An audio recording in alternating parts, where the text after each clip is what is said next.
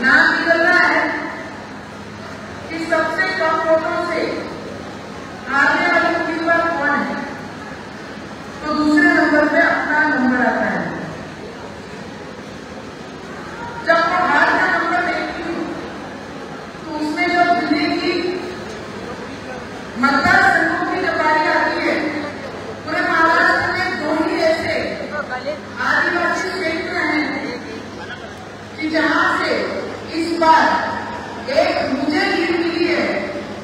इक्कीस हज़ार की नींव में क्षेत्र